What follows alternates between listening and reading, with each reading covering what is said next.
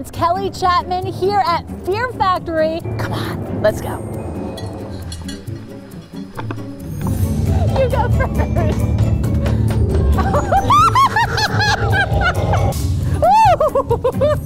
oh, he seems nice. Oh no! Oh,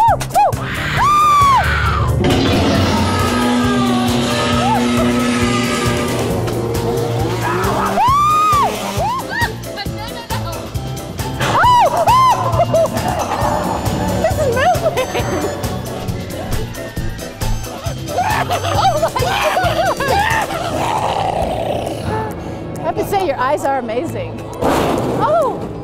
Oh! Here he comes! He looks friendly. The friendliest guy I've seen all night. So are you an Arizona Razorback? You got your stuff? Does it go fast? This is so weird.